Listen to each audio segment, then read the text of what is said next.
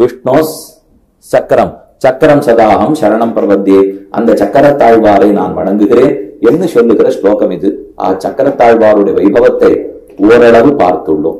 சக்கரம் எதற்காக பகவானுடைய கையில் இருக்கு? அதை மட்டும் சொல்லிடுறேன் அதுக்கு பல பிரயோஜனங்கள் உண்டு. சக்கரத்தாழ்வார பகவான் பிடிச்சிருக்காருன்னா சக்கரதாரிங்கிறது அவனுக்கு இருக்கிற இன்றியமையாத அடையாளம். சங்க சக்கரதாரின்னு சொன்னால் அப்ப பரமபுருஷன் புருஷோத்தமன் பரபிரம்மம் பரதேவதை. அப்படிங்கிறதுக்கு அடையாளம் ஒண்ணும் இல்லையோ அவர் புண்டரீகாட்சன்னு சொல்லிட்டா இவனே முழுமுதற் கடவுள். சக்கரத்தை கையில பிடிச்சிருக்காருன்னா முழுமுதற் கடவுள். ஆதிசேஷ பர்யங்கத்துல சேனிச்சிருக்காருன்னா முழுமுதற் கடவுள். கருட வாகனத்திலே பறக்கிறார்னா முழுமுதற் கடவுள். அப்ப இதெல்லாம் பகவானே பரதேவதை முழுமுதற் கடவுள்ங்கிறதுக்கு அடையாளம். அப்ப பகவான் அடையாளம் காட்டுறதுக்கு ஏதாவது அவரிடத்துல இருக்கணும் இல்லையோ? சக்கரத்தையும் சங்கத்தையும் பார்த்தா ஓ பகவான் தான் பரதேவதை அப்படின்னு தெரிந்து கொள்ளுகிறோம். அதனால சக்கரதாரியாக இருந்து தான் பரதேவதை என்ன அடையாளம் காட்டுகிறார். இது முதல் தேவை. இரண்டாவது தேவை விரோதிகளை ஒழிப்பதற்கு ஆயுதமாக பிடித்திருக்கிறார். எத்தனை விரோதிகள் வந்தாலும் அவர்கள் அழிப்பதற்கு ஆயுதம் அனுமல்லையோ அதற்காக ஆயுதமா பிடிச்சிருக்கார் இன்னும் மூணாவது ஒண்ணு இருக்கு அழகுக்காக பற்றி இருக்கிறார் ஆயுதம் இல்லை ஆபரணமாக பற்றி இருக்கிறார் பகவானுடைய வழக்கையில் ஆள் இருக்குன்னாலே அதுவே ரொம்ப அழகான ஆபரணம் தான். ஆண்டாள் எப்பவும் பாசுரத்தை என்ன சொல்றார் சங்கொடு சக்கரமேந்தும் தடக்கையன் பங்கைய கண்ணான். வெள்ளச்சுரி சங்கொடு ஆழியேந்தி தாமரை கண்ணனன் நெஞ்சினூடே புள்ளைக்கடாகின்ற வாற்றை காணீர்.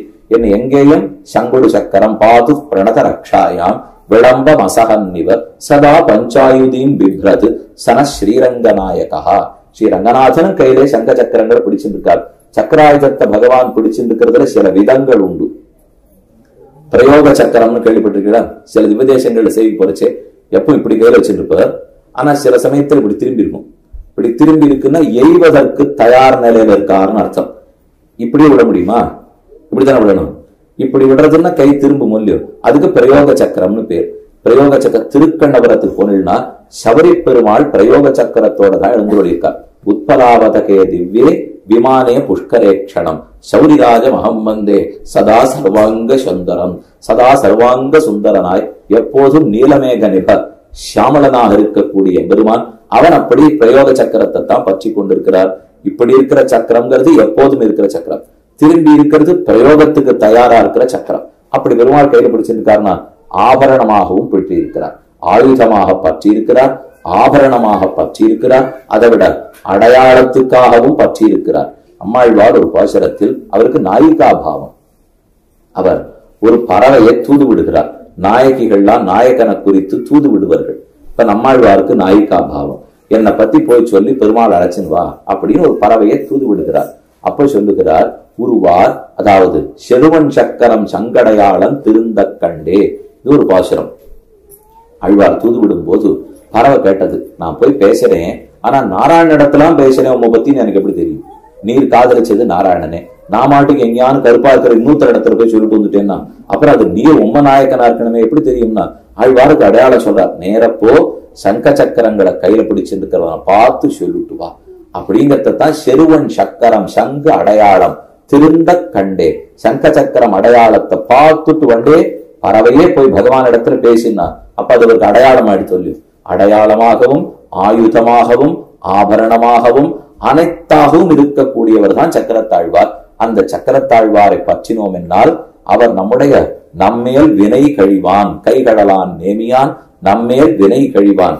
அவர் கையை விட்டு கடலாக இருக்கக்கூடிய சுதர்சன சக்கரம் நம்ம இடத்துல இருக்கிற அத்தனை வினைகளையும் கழித்து விடுகிறார். நம் வினைகள் போகணும்னா அவர் வேணும்.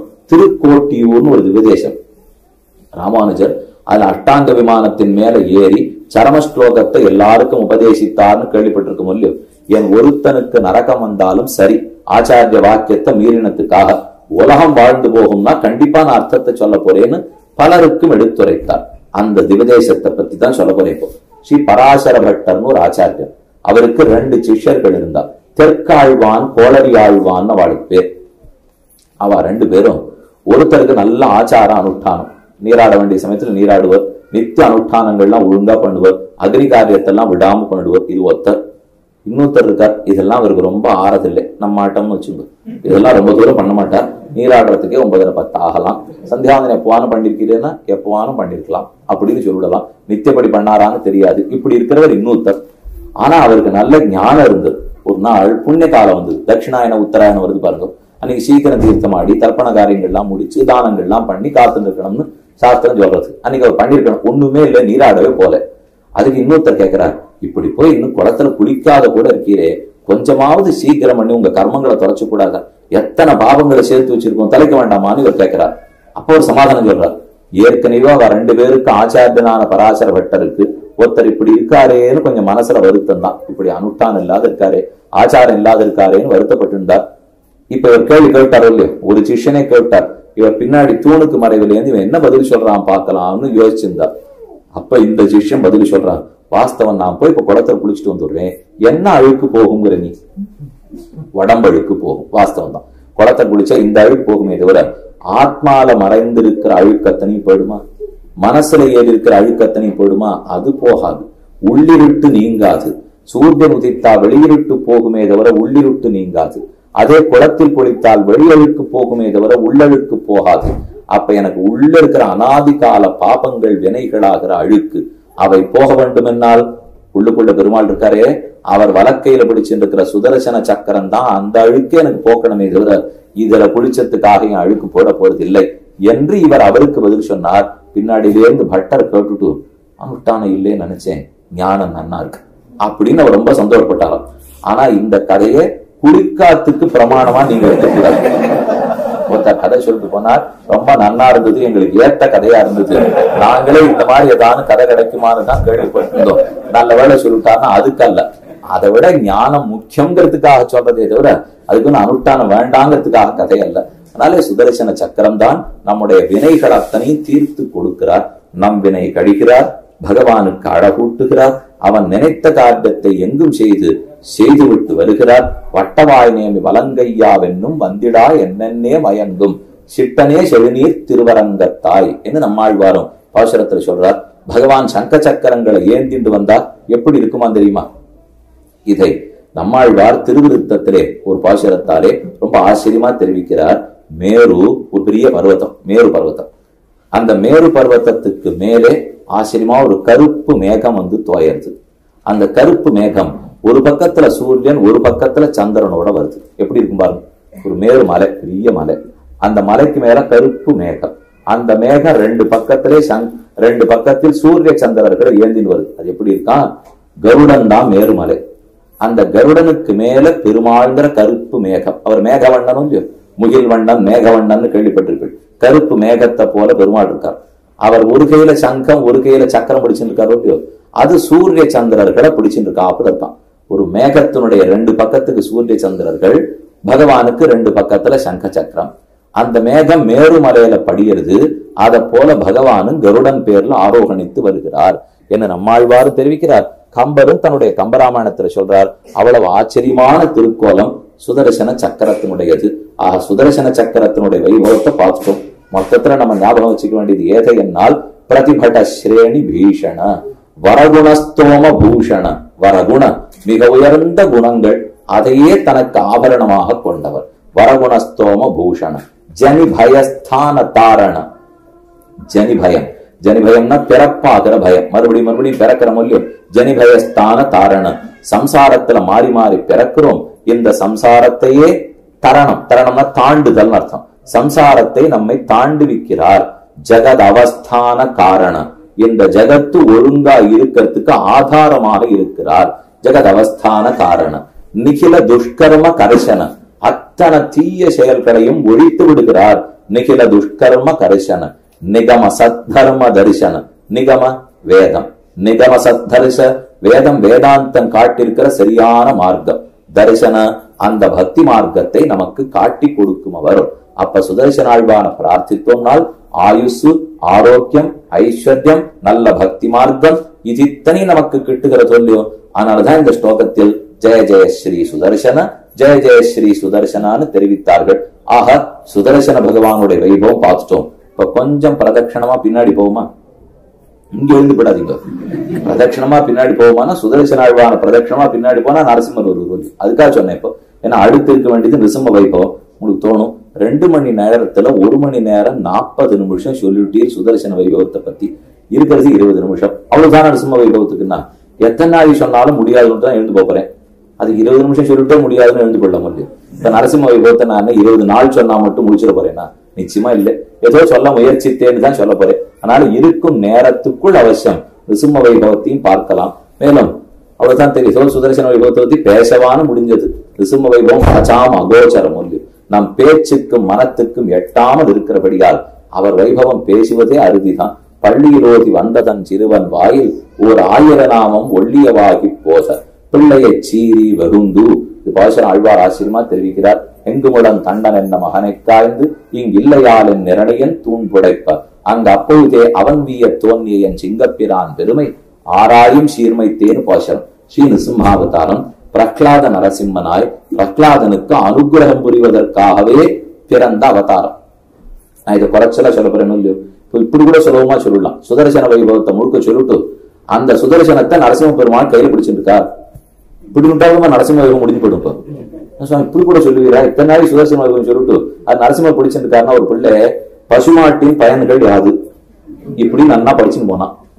ஆனா கேள்வி தென்னை மரத்தோட பயன்கள் யாதுன்னு போட்டுட்டான் இவங்க தெரியல. இவன் படிச்சு போனது பசுமாடு.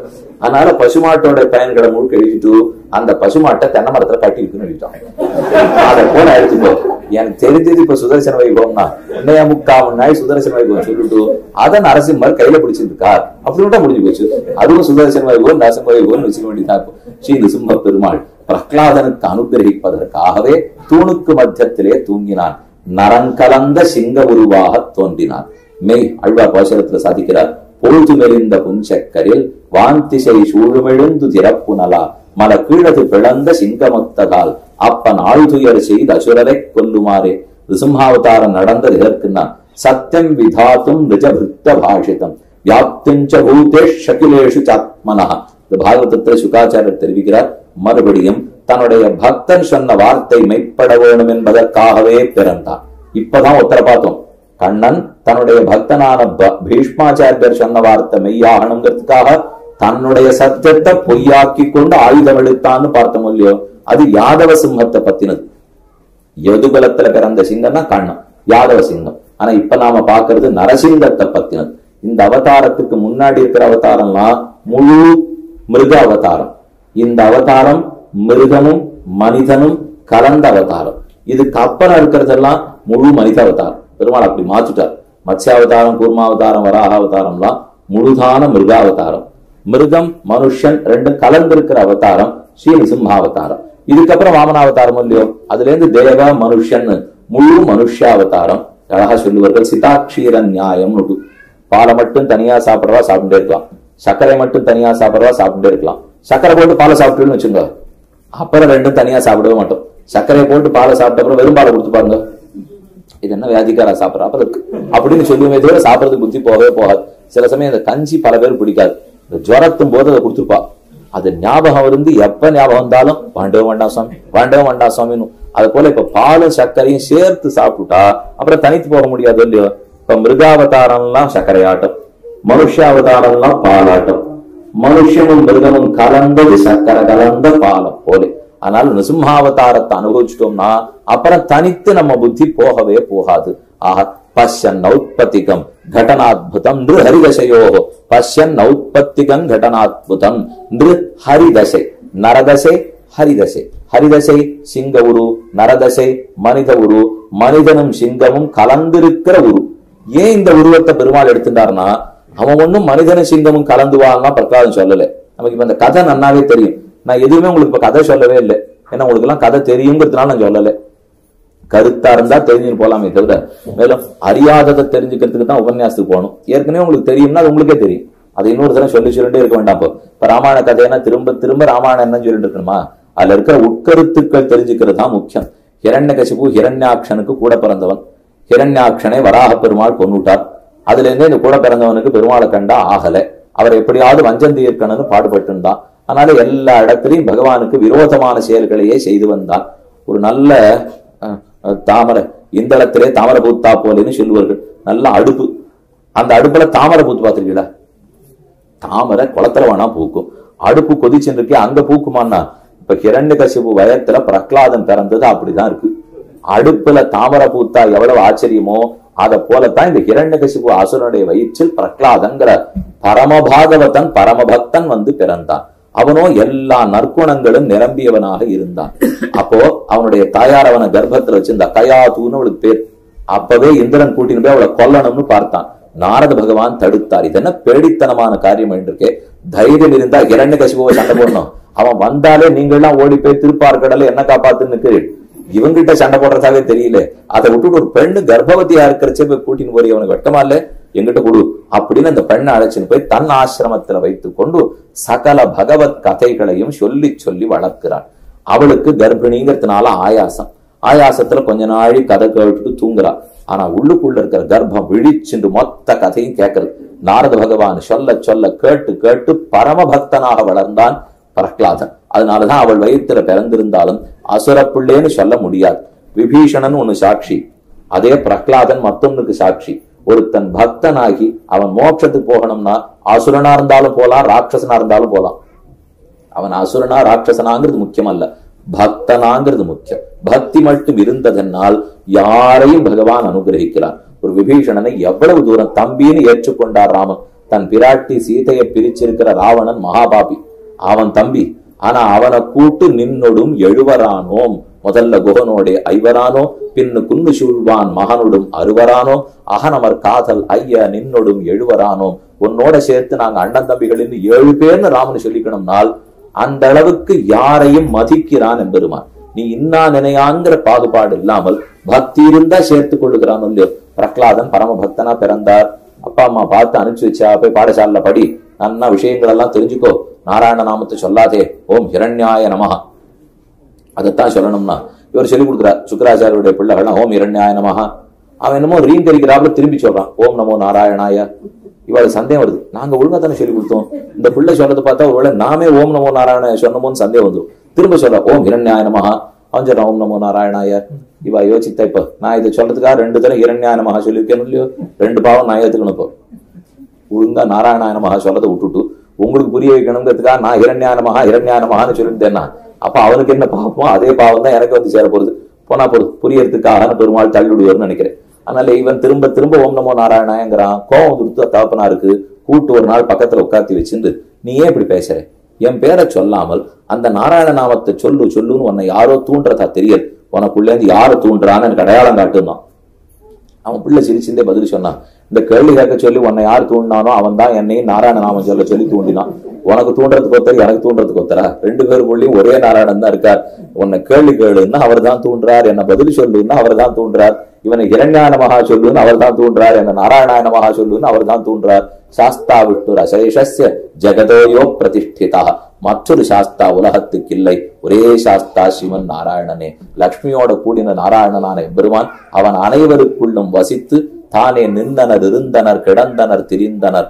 நின்னிலர் இருந்திலர் கிடந்திலர் திரிந்திலர். என்று நாம் நின்னாலும் கிடந்தாலும் திரிந்தாலும் இருந்தாலும் அவன் அதீனம் அவன் அன்னி ஓர் அணுவையும் அகம் கிருஷ்ணஸ்ய ஜெகதா பிரபவ பிரளயஸ்ததா என்று கண்ணனே கீதையில சொன்னா போலே அவனேதான் இத்தனையும் பரிபாலிக்கிறான். நீ புரிஞ்சுக்கோ. என்ன தாப்பனார பார்த்து சொல்ல கோவம் இந்த பிள்ளை கொனுடுங்கோன்னு அணை விட்டான் சொந்த பிள்ளை தான் சிறு பிள்ளை.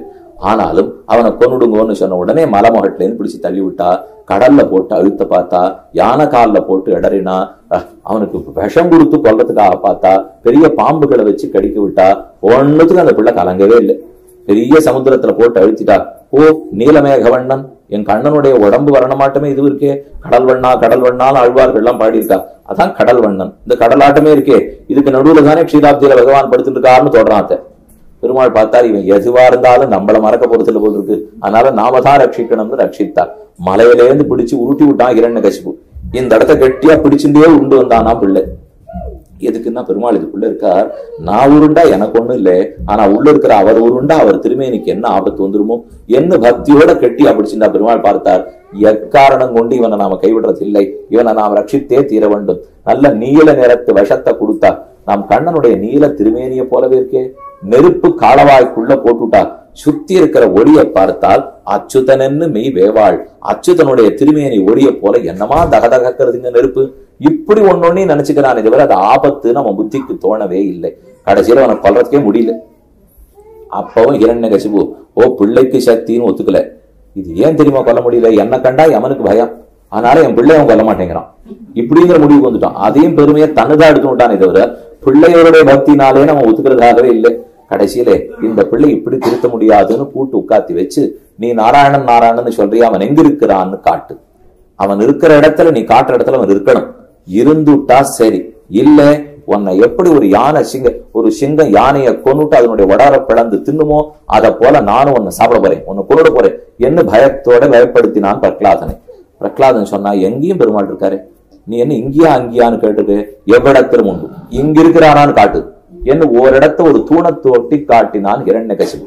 அப்பவும் பிரகலாதன் ஒத்துக்கல. எங்கு முழங் கண்ணன்? உர்வியாமஸ்தி உதகேஷி ஜாஸ்தி துவையஸ்தி மையஸ்தி ச. உனக்கும் உள்ளான் எனக்குள்ளும் உள்ளான் பூமியிலும் உள்ளான் ஆகாயத்திலும் உள்ளான் எங்கும் உள்ளான் அவன் என்ன இங்கிருக்கிறான் அங்கிருக்கிறான் சொல்ல முடியும்? பரந்த தன் பறவையுள் நீர் தோறும் பரந்துளன் கரந்தசில் இடந்தொரும் இடந்திரன் பொருள் தோறும் கரந்தெங்கும் பரந்துளன். நாம் கண்ணிமைக்கிற இடத்துக்குள்ளும் இருக்கிறான் பேச்சுக்குள் இருக்கிறான் சொல்லுக்குள் இருக்கிறான் பொருளுக்குள் இருக்கிறான் சர்வ வியாபகமாக அனைத்துக்குள்ளும் இருக்கிறான் பெருமான் எங்கேன்னு என்ன கேட்காதே எங்கு முளம் அவனுக்கு புரியல.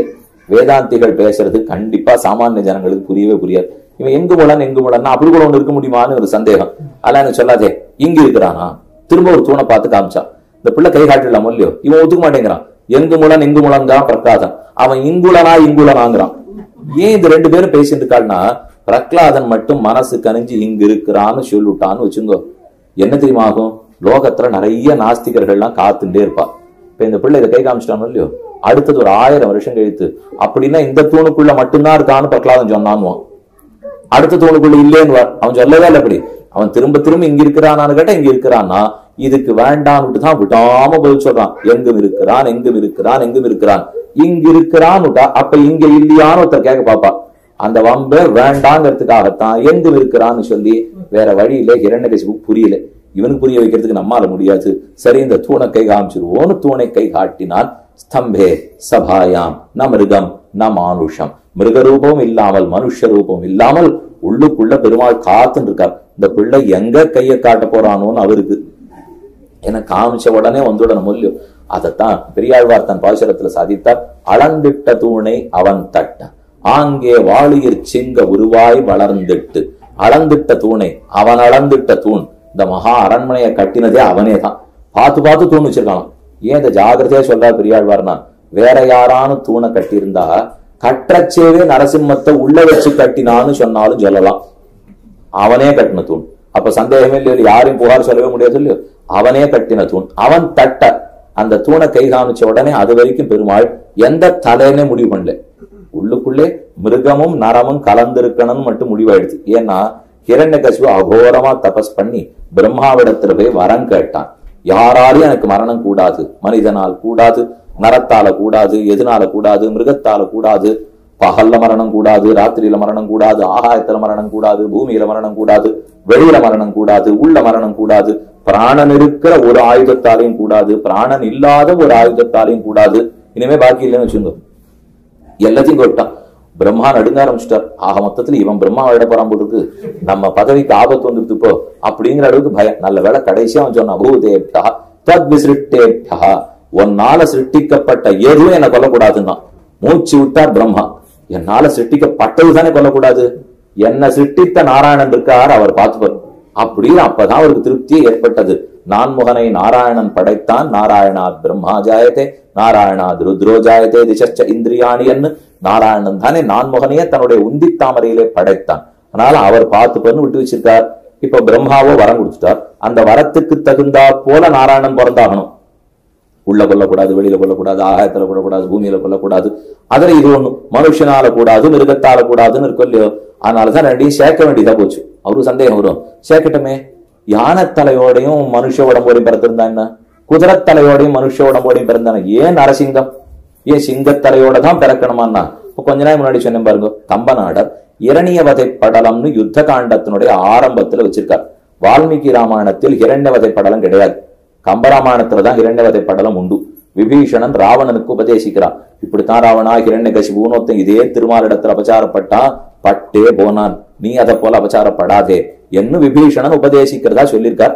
வால்மீகி ராமாயணத்துல அந்த சரித்திரத்தை பத்தின பிரஸ்தாவம் இல்லை. அப்போது இந்த விஷயத்தை தெரிவிக்கிறார். வெளியில இருந்துட்டு ரெண்டு பேரும் பேசுறத உள்ளே இருந்து பெருமாள் கேட்டுருக்கார். இன்னும் தலையை முடிவு பண்ணல. எந்த தலை எடுத்துக்கணும் மட்டும் இரண்டகசிவு பிரகலாதனை பார்த்து சொல்றான் நீ காட்டுற இடத்துல மட்டும் அந்த பகவான் இல்லைன்னா நான் சிங்க இருந்து உன்னை யானை ஆட்டம் வச்சு மஸ்தகன் தலையை பிளந்து உன்னுடைய நரம்பையும் குருதியும் குடிக்க போகிறேன்னு பேசலாம் ரொம்ப கோரமான வார்த்தை. அதாவது நீ காட்டும் இடத்தில் பகவான் இல்லை என்னால் கும்பத்தின் கிரையை கோள்மா கொண்டன நின் செம்புத்த குறிதி தேக்கி உடலையன் தின்பன். எப்படி ஒரு யானையினுடைய தலையை சிங்கம் பிளக்குமோ அதை போல பிரகலாதா உன்னை பிளந்து உன்னுடைய குருதி எடுத்து குடித்து விட போகிறேன்னு ஹிரண்ய சொல்றான். உள்ளே பெருமாள் கேண்டிருக்கார் என்னுடைய பக்தனே யானையா வச்சு நீ சிங்கமா இருந்து கொள்றேன்னு தானே சொன்னேன். நான் சிங்கமா இருந்து உன்னை யானையா வச்சு கொன்னுடுறேன். அப்படின்னுட்டு அப்போதுதான் சிங்கத்தலையே முடிவெடுத்தான் எம்பெருமான் அது வரைக்கும் எந்த தலைன்னு கூட முடிவெடுக்கல. மொத்த தூணுக்குள்ளேயும் போயிருந்தாராம். இனி எந்த தூணை காட்ட போறோம்னு தெரியாது. அதுக்குள்ளே இருந்து அந்த வடிவத்தோட வரணும் இல்லையோ? எல்லா தூண்களுக்குள்ளேயும் போய் நின்று ஸ்தூணா மகாசுர கிரகஸ்தூணா பிதாமக்கிய பூத். அப்போது இவன் இந்த தூண் கை காட்டினான். வேகமா போய் தத்தாட அதிபலம். தன்னுடைய பெரிய முட்டியாரையும் கதையாரையும் ஓங்கி எட்டினான்.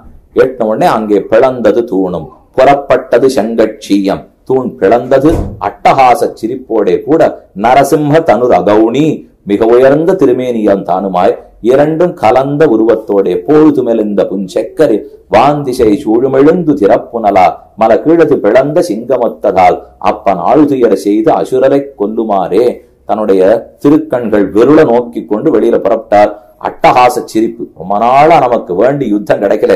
இன்னைக்கு ஹிரண்யசிபு கிடைத்தான். பரியனாகி வந்த அவனுடல் கீண்ட அமரர்க்கரிய ஆதிப்பிரான ரங்கத்தமலன் முகத்து கரியவாகி புடவரந்து மிளிர்ந்து செவ்வரி ஓடி நீண்டவ பெரியவாய கண்கள்னு திருப்பாணாழ்வார் சாதிக்கிறார்.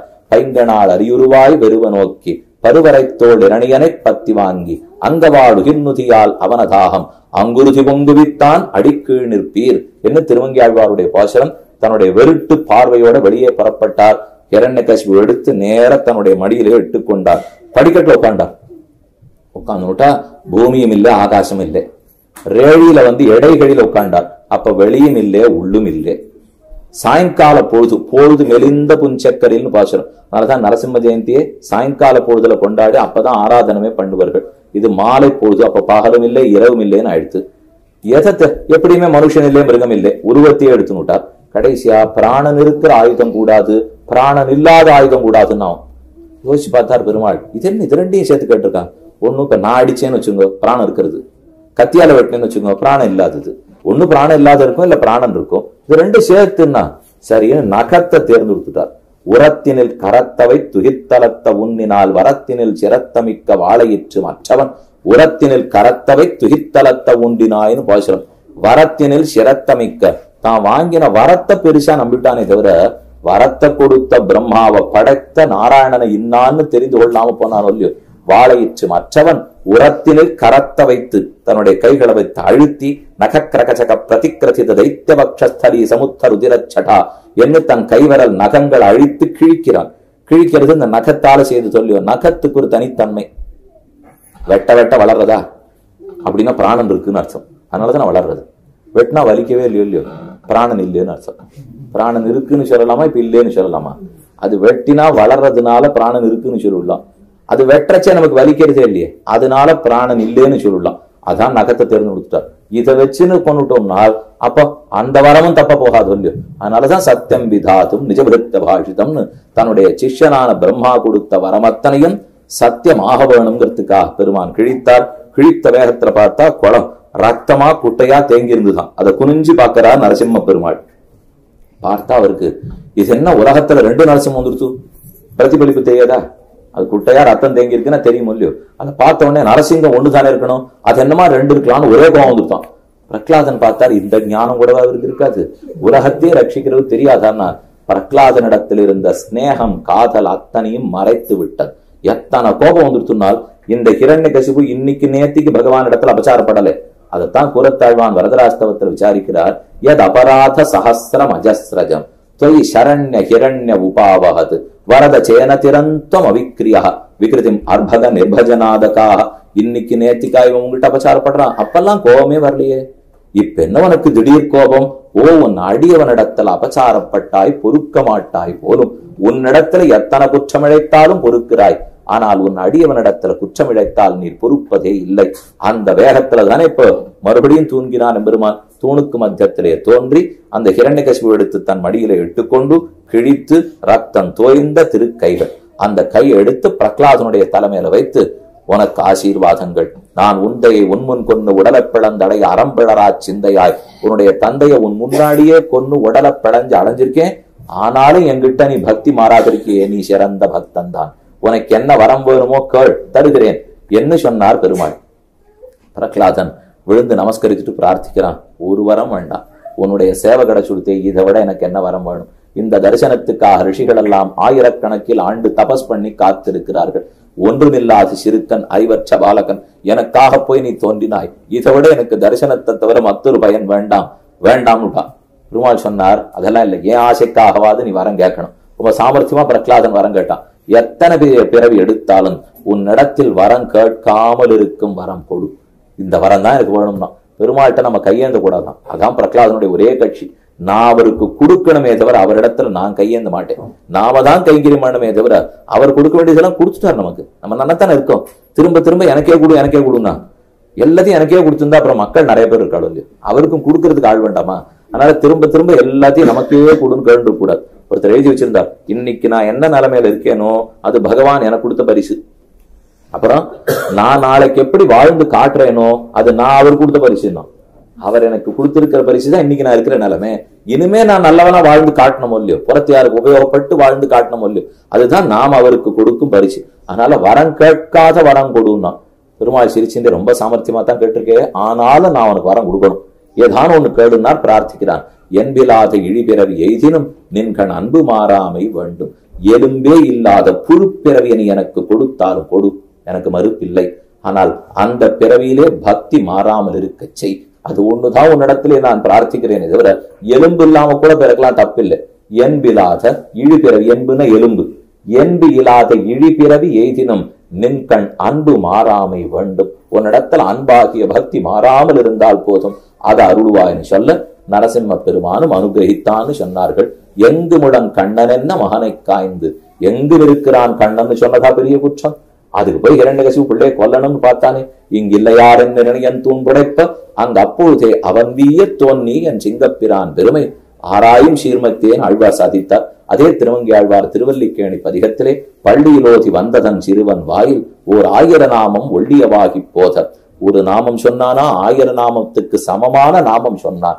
ஆங்கதனு கொன்னுமோர் பொறுக்கிறனாகி பிள்ளையை சீறி வெகுண்டு. விரையிற் சனல் விழி பெழ்வாய் தெள்ளிய சிங்கம் ஆகிய தேவை திருவல்லிக்கேணி கண்டேனே. அந்த பெருமாளை திருவல்லிக்கேணியில தரிசிக்கலாம். அகோபலத்துல போய் நாம் சேவித்துக் கொள்ளலாம். ஆழ்வார் சாதித்தார் நல்ல நெஞ்சே நாம் தொழுதும் நம்முடன் நம்பெருமான் அல்லி மாதர் புல்க நின்ன ஆயிரம் தோழனிடம் நெல்லி மல்கி கண்ணுடைப்ப புல்லரை ஆர்த்து அதர்வாய் சில்லு சில்லன் உள்ளராத சிங்கவேள் குண்டமே அங்கள் ஞாலமஞ்ச அங்கோள் ஆளதியாய் அவனன் பொங்கவாகம் வள்ளுகிறாள் போழ்ந்த புனிதனிடம் செங்கனாடி இட்டிரஞ்சும் சிங்கவேள் குண்டமேனு திருவங்கியாழ்வார் பாசம் அகோபிலத்தில் அகோபில நரசிம்மனாக அதே கட்டிகாச்சலம்ங்கிற சோழசிம்மபுரத்திலே யோக நரசிம்மனாக காஞ்சிபுரத்துக்கு அருகில் வேளுக்கைங்கிற திவ்யதேசத்திலே வேளுக்கை ஆளறியாக இப்படி பல திவ்யதேசத்திலே நரசிம்ம பெருமானாய் பிரகலாத வரதனாக பகவான் நமக்கு சேவை சாதிக்கிறார். எல்லா இடத்திலும் அப்படி தனியா இருக்கிறதோடு இல்லாமல் சுதர்சன ஆழ்வாரோட சேர்த்து சேர்த்தும் சேவை சாதிக்கிறார். அந்த சுதர்சன பற்றி நிசிம்ம பெருமானை பற்றி அடியார்கள் அனைவருக்கும் பகவத் பக்தி ஏற்பட்டு செங்கன் திருமுகத்து செல்வ திருமாலால் எங்கும் எல்லாரும் திருவருள் பெற்று இன்புற்றிருக்க வேண்டும் பிரார்த்தித்து இடத்தையும் கொடுத்து சொல்லுங்கிற மனசோட சொல்ல சொன்ன தேவஸ்தானத்தார் ஆலய நிர்வாகிகள் இங்க இருக்கக்கூடிய கைங்கிரவரர்கள் வந்து கேட்டிருந்த நீங்கள் உங்கள் அனைவருக்கும் பல்லாண்டு பாடி அமைகிறேன்.